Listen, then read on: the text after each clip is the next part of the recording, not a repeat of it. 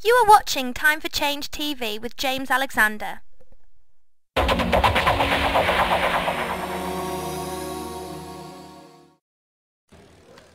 I lost my constituency to George Galloway by 800 votes at last year's general election. Mr. Blair, this is for Iraq. Galloway's a firebrand and gives some great performances and is a fierce critic of Tony Blair and the war in Iraq. I turned out to be right, and you turned out to be wrong.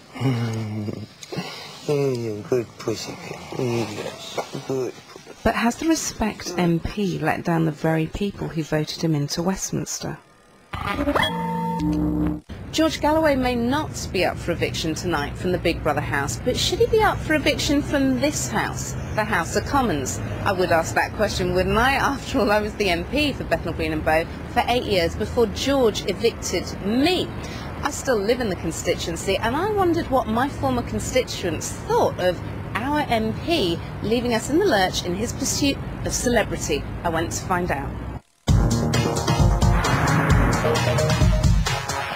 That's scrumming. Delicious. Good girl. Good girl. Now lick your lips. I've got cream all over your whiskers. I just wondered what, what people think about um, the Member of Parliament. He's a rubbish. He's a rubbish.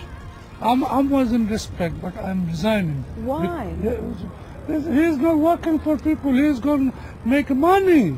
He's useless. He's a celebrity. He wants to be a celebrity?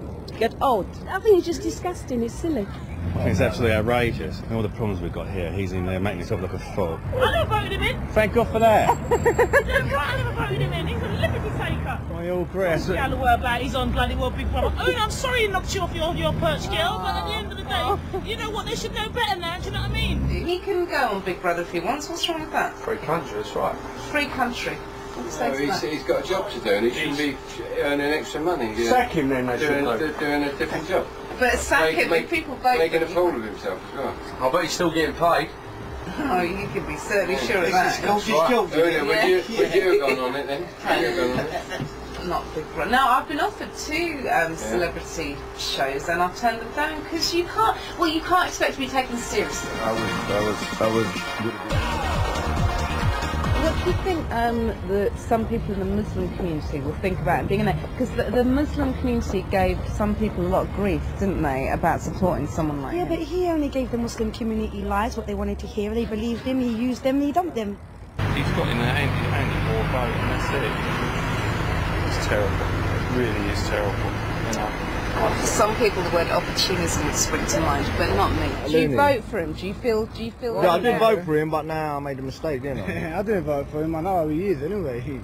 It's all politics in it. I should have voted for you though, but I didn't vote. But next time I'll vote for you. Yeah. Thanks, mate. I'll, re- I'll remind you. And he's uh, cheating with the Bengali people, and he's gonna. Uh, our, is our community is divided. Do you think he used the? He community? uses the commu- use the community. I think it's all right. I mean, I don't see any problem in that. I don't, I don't really think anything wrong with it, really. It's, Yeah. It's, so do you think it's his? It's his choice. it, I think it's his choice, yeah.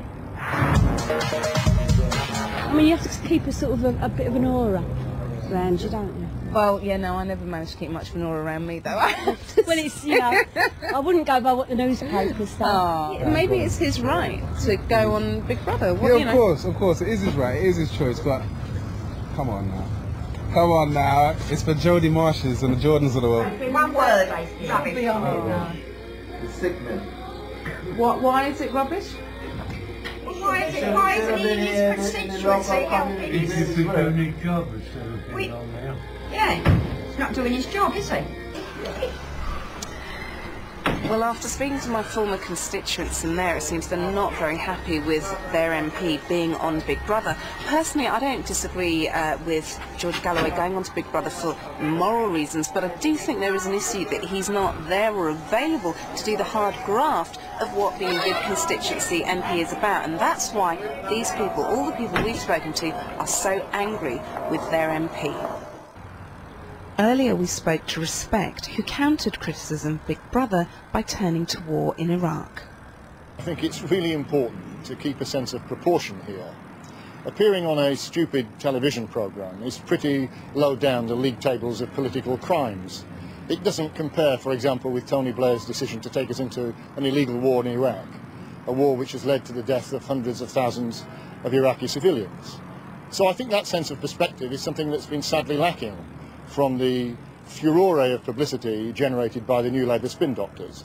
And I think it is important not to lose that sense of proportion. He's been a very, very active constituency MP. And uh, I must say that over the past few days, his constituency office has been full of constituents coming in and his constituency team have been helping them with a whole range of problems, from immigration to housing uh, to uh, all sorts of personal problems, uh, and their needs have been met, uh, you know, very, very effectively.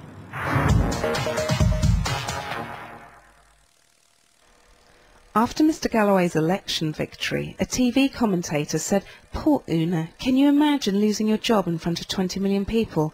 Well, poor George, can you imagine losing your dignity in front of 20 million people?